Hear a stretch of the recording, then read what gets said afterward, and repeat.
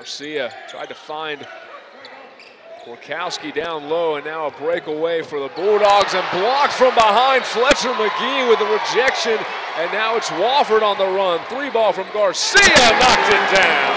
That is as good a sequence as you're going to see. You have a turnover, you come down, you make the great defensive play, hit the three, and look at the crowd. They're in the game now. A five point swing for the Terriers brings the Wofford faithful to their feet. Offensive foul against the Bulldogs on the other side. The Terriers head to the timeout some momentum, and it started with the big time rejection from that man, the freshman Fletcher Magee. Block from behind on Trey Tiller. And at the other end, Eric Garcia open from the corner. Wofford with a four point lead. Final minutes of the first half in Benjamin Johnson Arena.